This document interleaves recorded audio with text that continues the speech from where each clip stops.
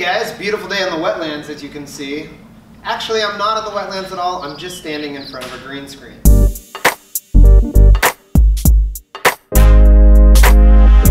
One of the best parts about Final Cut Pro is that you're able to layer and stack your footage, and one great way to do that is by using the green screen or the keyer effect. Okay, to tell you a little bit more about how the keyer works in Final Cut Pro, I'm going to invite my good friend, Mr. Oliver. Hey there. Hey, thanks, Mr. Oliver. I'll be happy to take it from here. Okay, so what you're going to do is you're going to record your footage in front of this green screen. And then you're going to import your footage into your event in Final Cut Pro and drag it to the timeline on top of whatever media you want in the background. So in my case, I dragged a picture of the wetlands first, stretched it out so that I was able to have this footage over.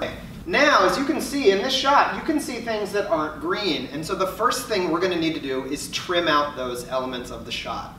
So, on the left side of the screen, underneath your little view window, you're going to change your selector tool from transform to crop.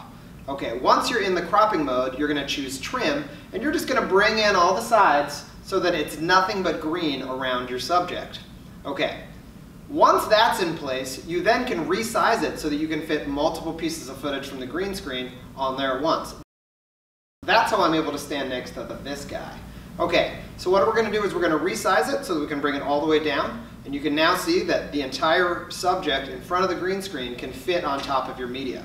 Alright, so once you've dragged it in, you now notice that that footage is just on top of it. So when you stack footage in Final Cut, you only see the top layer of footage. Well, once we've trimmed it down, you'll see that there's pieces of the footage behind, but we need to key out all of this green. So what you're going to do is on your video effects tab that's down on the bottom, on there you're going to select that and search for keyer. So then take the keyer, you're going to click and drag, you're going to drag that right onto the media, and when you do, the background should move away. Now if there's still elements of the green screen that still appear, you can use some of the fine tuning tools.